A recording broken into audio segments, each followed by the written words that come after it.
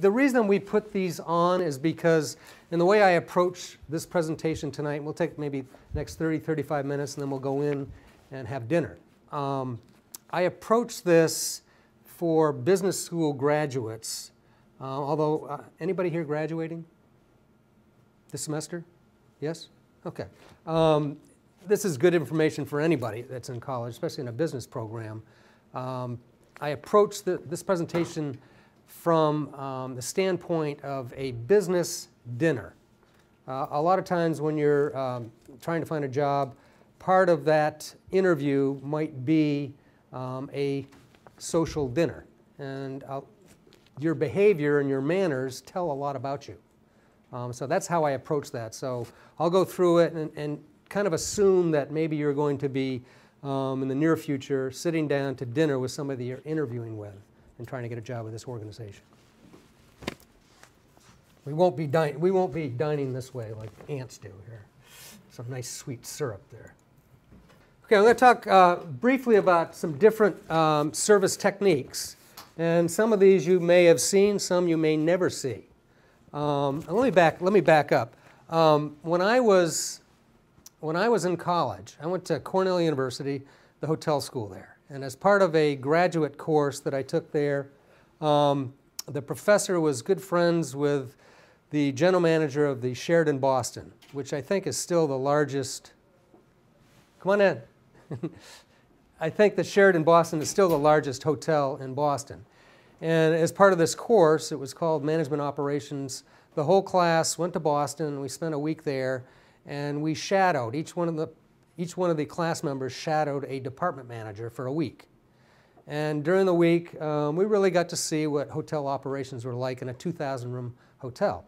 Um, I think about midweek, the professor was good friends with the general manager of the Ritz-Carlton Boston. Um, and the, Ritz, the, the, general manager of the Ritz-Carlton Boston was a graduate or an alumnus of uh, the Cornell Hotel School. So he invited the whole class, I think there was only 12 in the class. He invited the whole class um, over for a cocktail reception and a dinner that he paid for. And this is in the Ritz-Carlton Boston, and if you've ever been to Boston, now there are two Ritz-Carltons. The old Ritz-Carlton is on one side of the Boston Commons. The other, the newer Ritz-Carlton is on the other side of the Boston Commons. Um, we ate at the old Ritz-Carlton, which is at the time was the only Ritz-Carlton in Boston. And that particular hotel, the dining room at the Ritz-Carlton, was the place where if you had a lot of money and you, want, you had a special occasion and you wanted to celebrate it with a meal, you went to the Ritz-Carlton Boston. Very, very fancy. Um, so anyway, we, we dressed up, coat and ties, the gentlemen, ladies in shirts or skirts. Um, and we went in our business attire and we went to this suite in the hotel and we had a cocktail reception with people, waiters walking around with trays of hors d'oeuvres and um, people walking around with trays of champagne and They'd ask if you wanted some type of a drink. Um, it was pretty fancy, and we were like, wow, people serving them uh, hors d'oeuvres. And, um, so then we went into the dining room, and we sat all at one table, one big round table. And they served us in the Russian style. And I still remember what I ate there. I ate uh, beef Wellington. If you're not familiar what beef, what beef Wellington is, beef Wellington is a, a tenderloin um, wrapped in puff pastry. Well, at first it's tenderloin covered with uh, um, a mushroom pate foie gras, um, what they call a duxelle, and uh, it's basically duck liver pate. It's covered uh, the meat, and then they cover it with a puff pastry dough, and then they bake it off in the oven.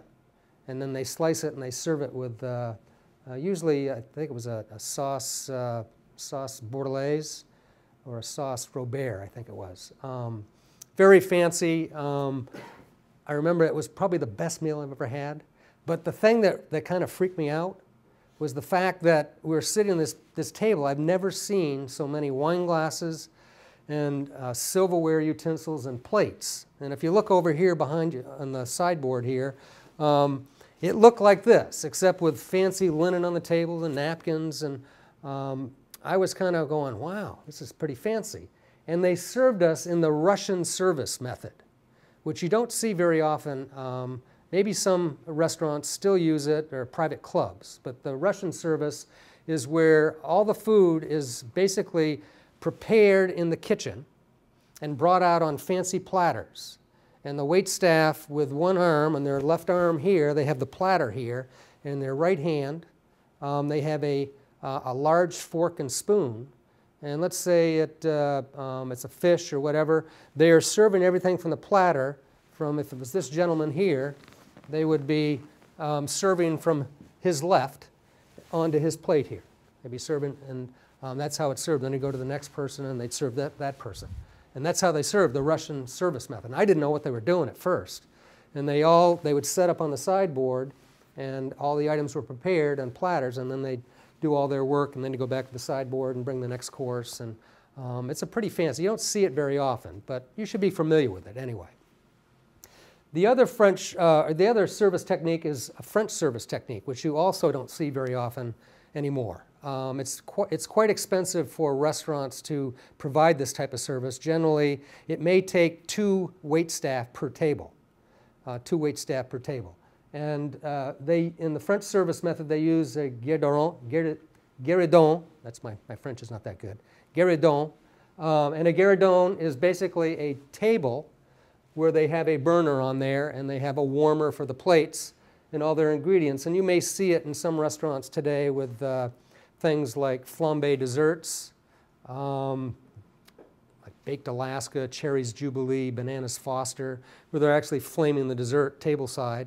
Um, you may see it with things like Caesar salad, where they bring all the ingredients out and right next to your table, they're preparing the Caesar salad. It's kind of fun to watch and it's a way for wait staff, you generally get very large tips for doing that kind of service.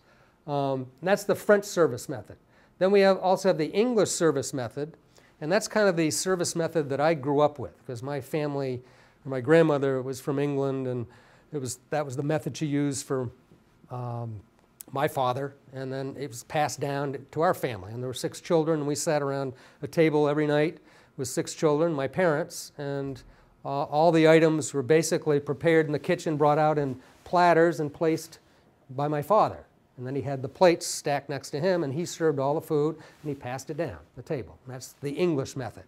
You probably wouldn't see that in a restaurant, but you may see it in a private club. You may see it in a private club. And then the last uh, method, which is the one that you're most familiar with, is the American service technique. And that's where everything is plated in the kitchen, and they're brought out on individual plates and set in front of you. Um, and that's, that's the American service method. And that's probably the one that you're going to see most of the time. But I mentioned the other three methods because they're not completely dead. And you may uh, be, be taken to a very fancy club someday, and maybe one of these methods there, and you're not kind of all nervous. You know what's going on. Know what's going on. Okay, whether you're having lunch with a prospective employer or dinner with a business associate, your manners speak volumes about you as professionals. So your level of sophistication, a lot of times it, it is kind of a test. It's kind of a test to see how sophisticated you are. I remember uh, I, I moved here to Plattsburgh in 1987. I was the vice president of support services at CVPH Medical Center. And I remember going, I think I've been there about a year, and uh, we went on a planning retreat, the senior management team, with the president, the chief operating officer, all the vice presidents, and uh, we spent uh, three days in at the Sagamore Lake George. Uh, very fancy resort. At that time, they had a restaurant there called the Trillium. It was a very fancy French restaurant. And the, uh, C the, the CEO president gave me the wine list because he knew I had a degree in hospitality. He said, Bob, you pick out the wine. And uh, I said, okay, fine. I said, and I tried to get an idea of what everybody was eating so I could kind of match up the wines. And I was looking at the wine list, and he said, he said, get a, get a, uh, a couple of good burgundies, a couple of good French burgundies. Um, so I was looking under France, under Burgundy, and I picked out, I, I looked at them, and then I looked over at the price. The cheapest Burgundy they had, French Burgundy on the wine list, was $95 a bottle. Uh, the most expensive one was like $195. And so I, um, remembering back my business etiquette, um, I was going to order the $95 bottles. The president wanted the burgundy, and I wasn't going to order the most expensive one. That's something to keep in mind. Uh, don't order the most expensive item on the menu when you're out for a business dinner. So I, I said, well, we have two bottles of this particular French burgundy, and the president leaned over and says, no, get the good stuff. We don't do this very often. So um, I actually got to order 100, two $195 bottles of wine. They're very good. But, um, but keep that in mind. Don't order the most expensive unless the boss gives you that permission. Once you are at the table, napkin use. The first thing you're going to do is you're going to follow the host's lead. Generally, when you sit down, you're, go you're going to take your napkin off the table and put it in your lap. Now, if it's a smaller napkin, you put the whole napkin on your lap. If it's a big napkin, you might have it folded in half, and you put that on your lap. But generally, you'll wait to the host. Um, you'll follow their lead. Um, and your napkin remains on your lap throughout the entire meal, unless you are uh, wiping your mouth. And when you're wiping your mouth, I shouldn't say wipe, you're basically gent gently blotting your mouth. So you're not like this, you're blotting your mouth. Um, if you need to leave the table, place the napkin on the chair and push your chair into the table. That signifies to the wait staff that you are not done with your meal. Um, if you put your napkin on the table, they may think, oh, they're done, they left, I'm going to clear their stuff. So put it on your chair, put it underneath. That tells the wait staff that you're still there. You may have gotten up to go to the bathroom. Um, the host will signal the end of the meal by placing the napkin on the table. Uh, do the same. Don't wad it up. Just place it neatly to the right of your plate. So um, it stays on your lap during the course of the meal, and then when you're done, after you see the uh, host put his napkin on the table, basically signifying that the meal's over, um, you do the same. And you kind of uh, fold it up and put it to the right of your plate. When you're ordering food, um, if you don't know what, something's, what something is, don't be afraid to ask. Don't be afraid to ask. Um, I think it was about six years ago, uh, we went to a very fancy uh, restaurant with some of our faculty members up in uh, Saint Jean, Quebec, up on the Richelieu River. And actually, uh, coincidentally, the name of the restaurant was Samuel D., the same name as we have um, for our restaurant here. And it was a very fancy French restaurant. Everything was in French. Um, and one of the faculty members ordered something he thought he knew what it was, but it ended up being, um, what was it? Calves' brains. Calves' brains. And when it was brought out to him, he couldn't eat it. He tried, and then he finally asked the wait staff, What is this? And he explained that it was calves' brains. And he said, Oh, I can't eat that. And the wait staff was very nice about the fact um, that he couldn't eat that, but he, he said, Would you like us to make something else for you? But the problem was that we'd already finished our meal. So he was going to have to wait another 15, 20 minutes to get have them prepare something else. So basically, he paid for a pretty uh, expensive meal that he couldn't eat because he really should have asked, What is this? Um, generally, the, um, the host is going to probably ask you to go ahead and order.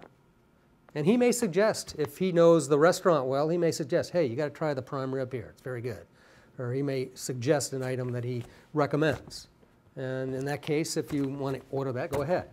Um, if the host does not order an appetizer, don't order an appetizer. Remember, this is a business dinner. This is a business dinner. Hopefully, you're conducting business or you're there to get a position in the organization. So appetizers, now if, the, if your host says, go ahead and order, you got to try these appetizers. They're, so, they're really good. So if the host says, I'm going to get one, then you go ahead and order an appetizer. Same thing with desserts. Same thing with desserts. If uh, don't order dessert unless the host orders dessert and you really want dessert, um, I would not order dessert. Stay away from messy foods. And when I say messy foods, if you're at a um, um, Western barbecue type place, I'd stay away from the, the ribs or things that you would be expected to use your hands to eat your fingers, uh, like fried chicken or something like that. Um, definitely uh, stay away from the, the, uh, um, the barbecued ribs. I mean, if you can imagine eating ribs with your hands, and you're going to have barbecue sauce over your hands and all over your mouth and pieces of meat sticking out of your teeth probably later on. So those things are kind of out. I'd also stay away from things like, uh, for example, lobster. Those can get messy. And when you're using a lobster cracker or something like that, sometimes uh, some of the juice goes flying and, you get butter and those things can get kind of sloppy. And as I mentioned, stay away from the most expensive item on the menu. I, I, I should have asked um, how many people when they were growing up sat down on a regular basis, almost every evening, and had dinner with their family at a dining room table? How many people kind of fend, fended for yourself for dinner? Yeah, that's uh, becoming more and more common with uh, both parents a lot of times uh, working, uh, different types of hours. Uh, a lot of people didn't grow up with uh, the occasion to sit down with their family, so things that you were taught as a child maybe weren't taught. Um, and it's becoming more and more common for people to be on their own, you know, pull something out of the freezer, throw it in the microwave or something like that, and you eat, eat sitting uh, in the, on the couch watching television. Okay, basic table setup. Um, if you look at this, we've got a plate in the middle, or plate generally about two inches from the edge of the table. Uh, sometimes you'll see your napkin to the left with a fork set on it. Um, then your knife and the blade's always pointing in towards the plate, and then a spoon. Then you have a drinking glass. Um, that's a basic table setting. That's just a basic table setting.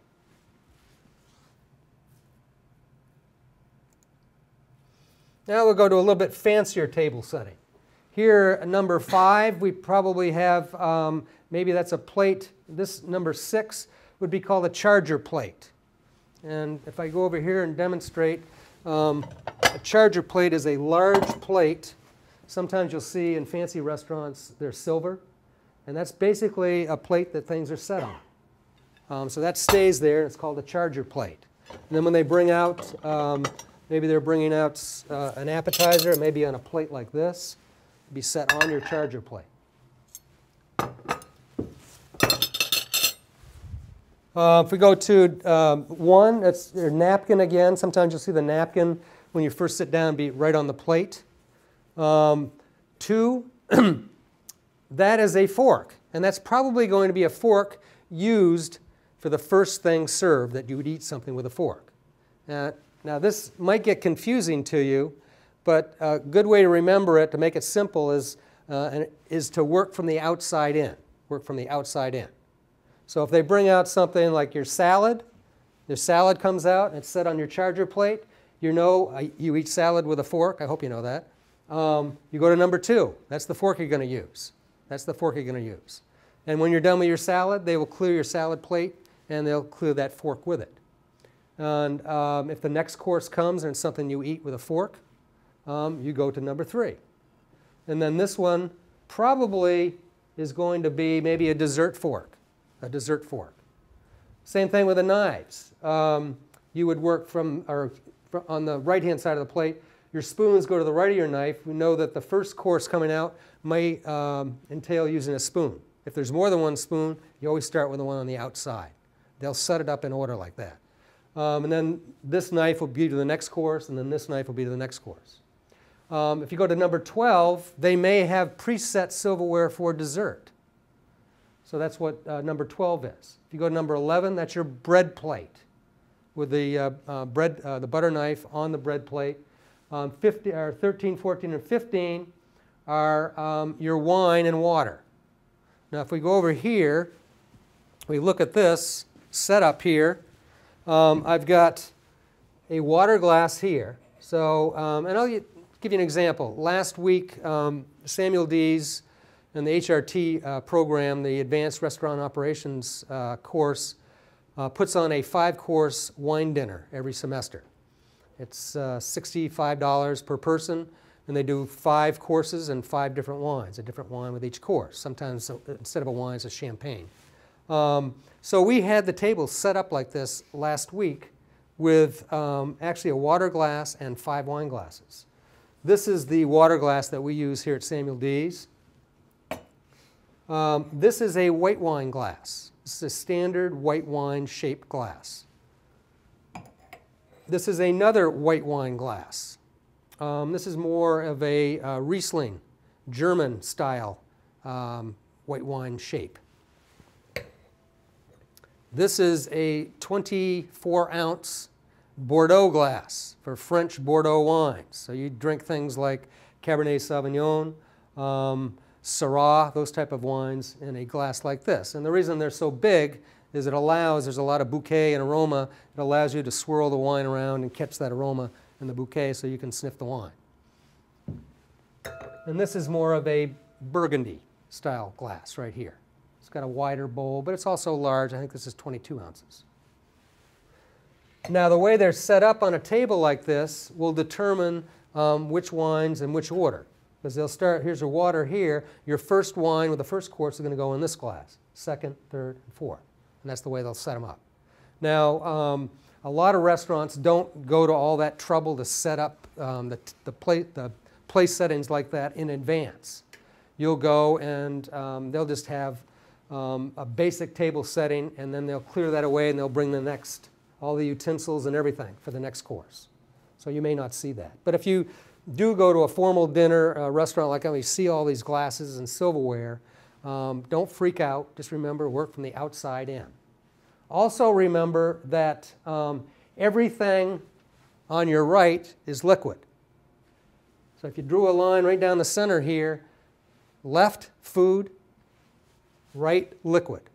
So when you've got, if you go to a banquet, or if you're in a crowded uh, table setting and your bread plate is over here, and um, you will look at that bread and you go, wait, wait a minute, there's a bread plate here and there's one over here. Which one's mine?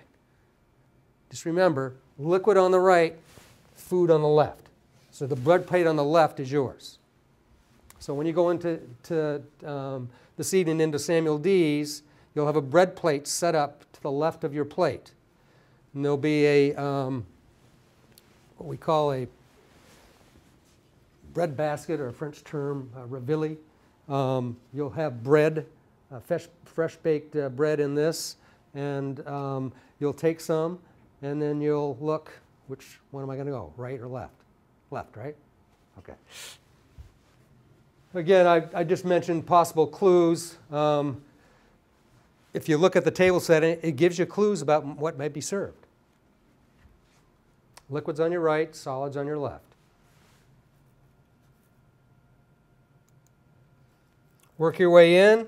Dessert, spoon and fork, sometimes are up at the top. Um, cutting. Um, there's two different ways of cutting your food. there's the English method, or European method, versus the American method. So if I have a, um, um, a piece of meat on this plate here, the um, European method would be I would cut off a piece. It's not like when we were kids where we take a piece of meat and we cut it up into 20 pieces and then we go to work at it. Um, you cut one, one, one or two pieces at a time. In the European method, you use your left hand with the tines of the fork down into your mouth. That's the European method. Um, you don't switch hands. The American method is you cut your meat, then you lay your fork down, and you switch hands and put it in your right, if you're right-handed, you put it in with your right hand. So you're gonna, you're gonna cut your piece of meat, I'm sorry, lay your, your knife down, not your fork, and then you switch hands and your fork and your right hand into your mouth with the tines up. Um, both are um, perfectly uh, permissible. Um, I grew up with the American style of cutting and switching hands. Um, although I, I, know my grandmother would sit at the table and uh, she was from England and she, she was the European style and she put it right in with her left hand with the tines pointed down. When you're finished, don't push your plate away. Um, don't push your plate away. What you do with your utensils, you go with your fork and knife, goes to a 10 and 4, 10 o'clock, 4 o'clock position on your plate. So you would put your fork like that, or your knife like that, pointed to 10 and 4 o'clock, and then your fork underneath that with the tines down. That is the proper way to put your silverware back on the plate when you're finished. That tells the wait staff in a fancy restaurant um, that you are done. You're done, and they can clean your, clear your plate away.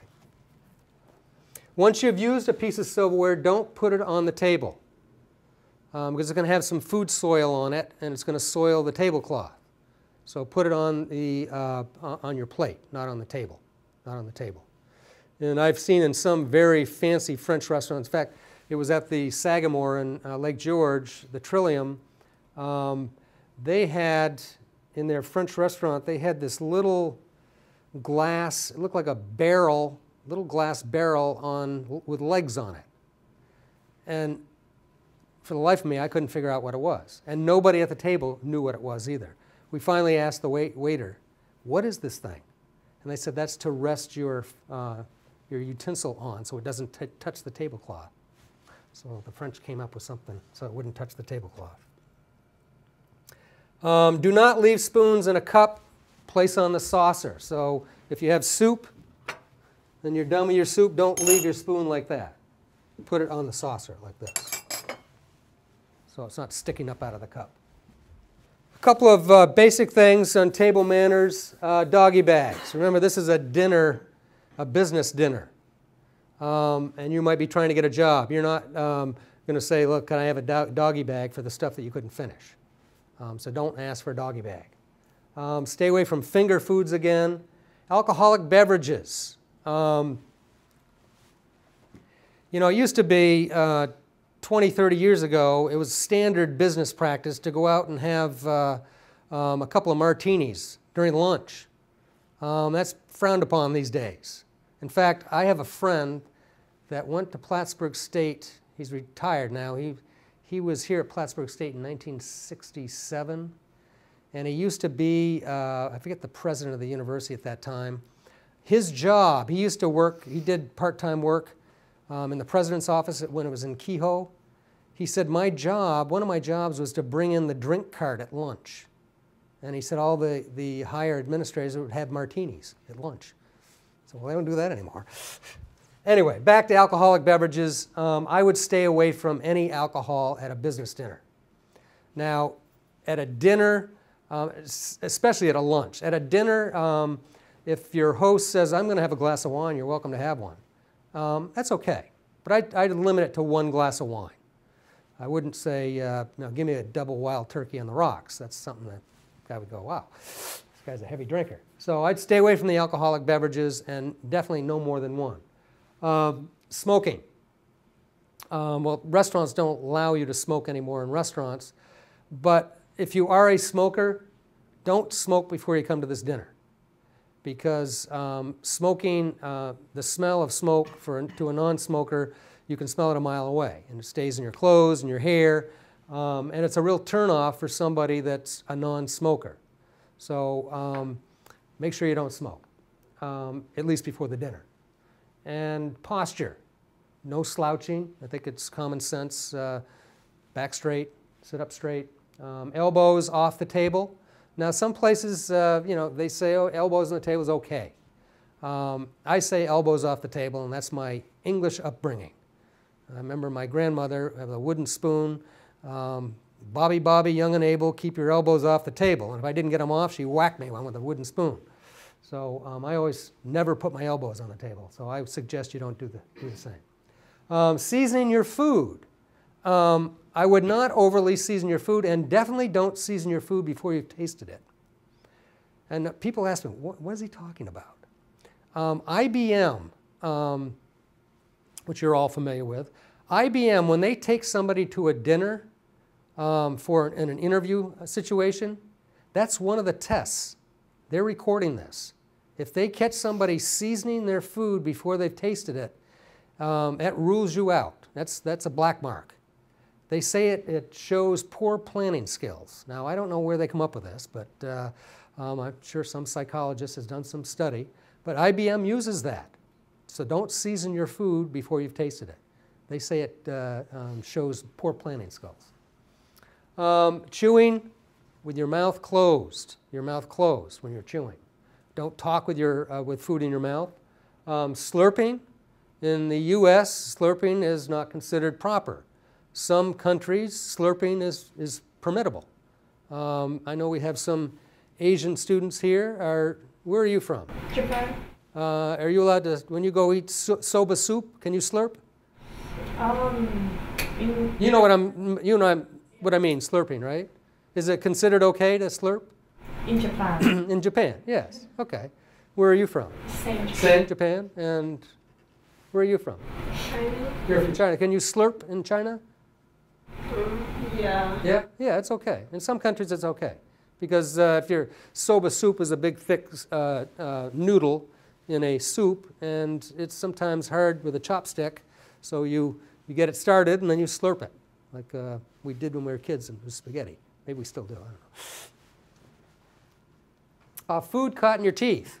That happens, especially if uh, um, maybe you're eating uh, um, a piece of meat, might have some fat or gristle, sometimes it gets caught in your teeth. And um, I would definitely try to not wrestle with it at the table. I'd get up and excuse myself and say, I have to go to the bathroom, I'll be right back, and then do it in the bathroom to get it out.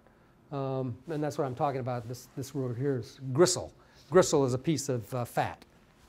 Um, rolls and bread. When you're, uh, when you're buttering your bread, you take um, butter, and the way we serve our butter, and most restaurants do it in some similar fashion. This is the way we do it in Samuel D's here. This container will have butter flowerets in it that we use a pastry bag. It's basically a compound butter with some herbs in it. And we use a pastry bag and we, um, we uh, squeeze out a flowerette of butter and then we put it in the freezer. And then we put ice in this and put this on it. There's holes here. And put the butter in there and put it on there so the butter stays cold. Um, so you're, gonna, you're going to be taking some of the butter there and you put it on your, on your uh, bread plate. Don't butter from here onto your piece of bread. Put it on your bread plate and then push this away and then you uh, might break off one piece of bread at a time and then butter it and put it in your mouth. You're not buttering the whole thing up and cutting it up into 10 different pieces.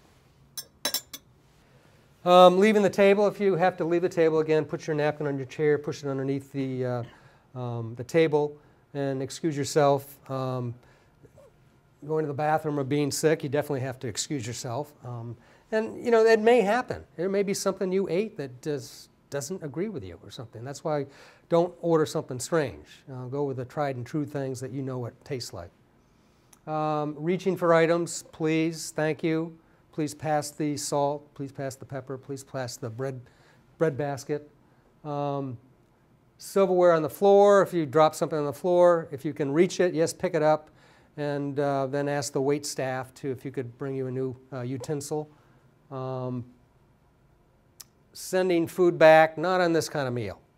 And business dining, uh, this isn't the time to say, look, uh, um, could you redo this? Isn't cooked like I said. You know, suffer through it. Remember, this, you're not there to eat. This is a business dinner. Um, you're conducting business or trying to get a job over a meal.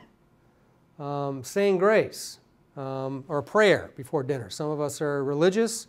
Um, say a prayer before dinner. Um, please apologize to God or whoever and, and, say it later. Say it twice.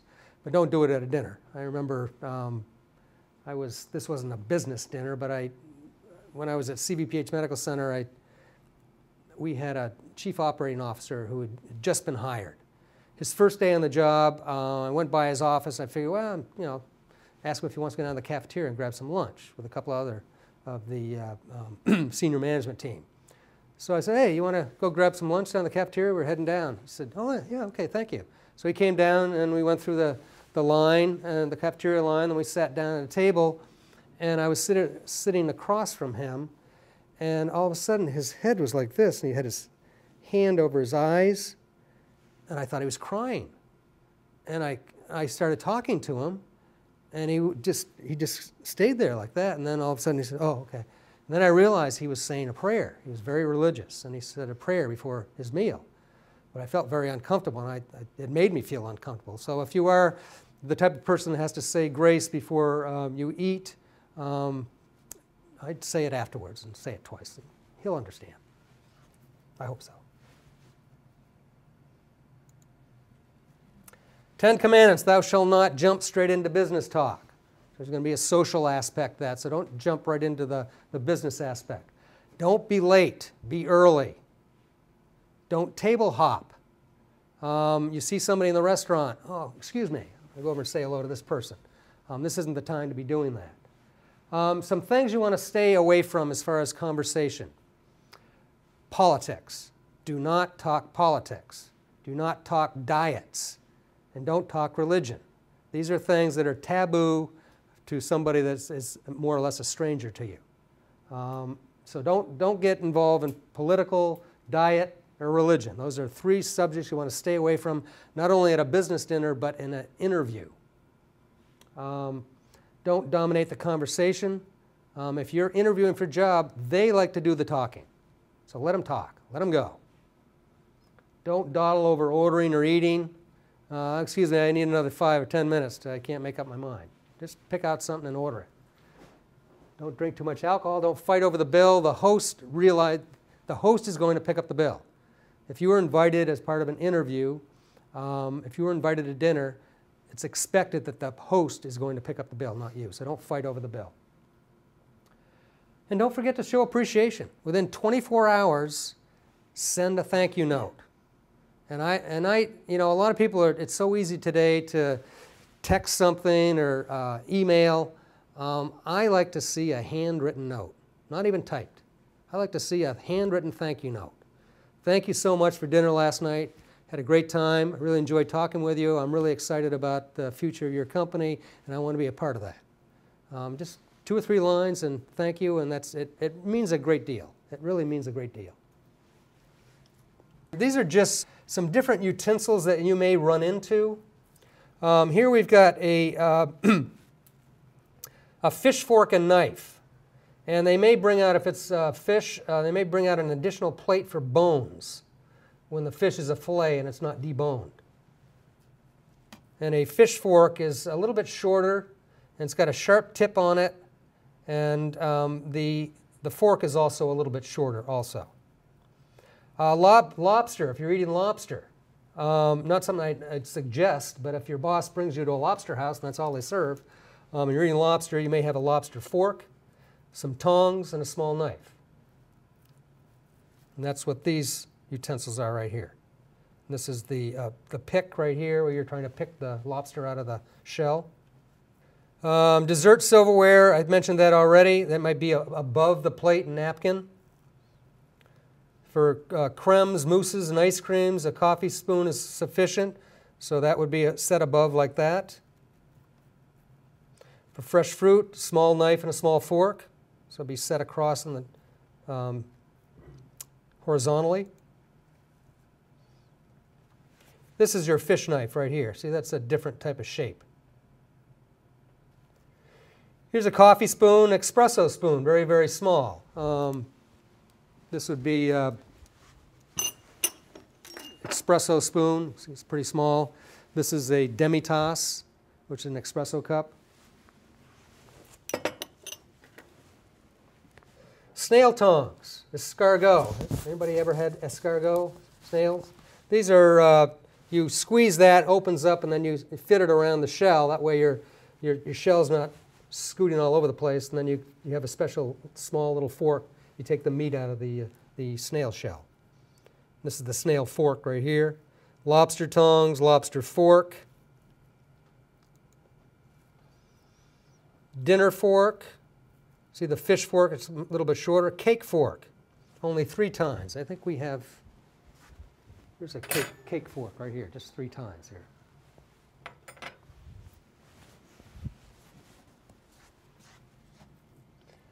Soup spoon, a little bit larger. Again, teaspoon and sauce spoon um, is a little bit flatter, just a little bit flatter.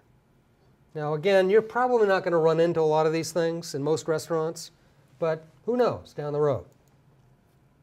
Any questions? Getting hungry?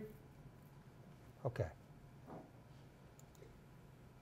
Let's go on in for dinner.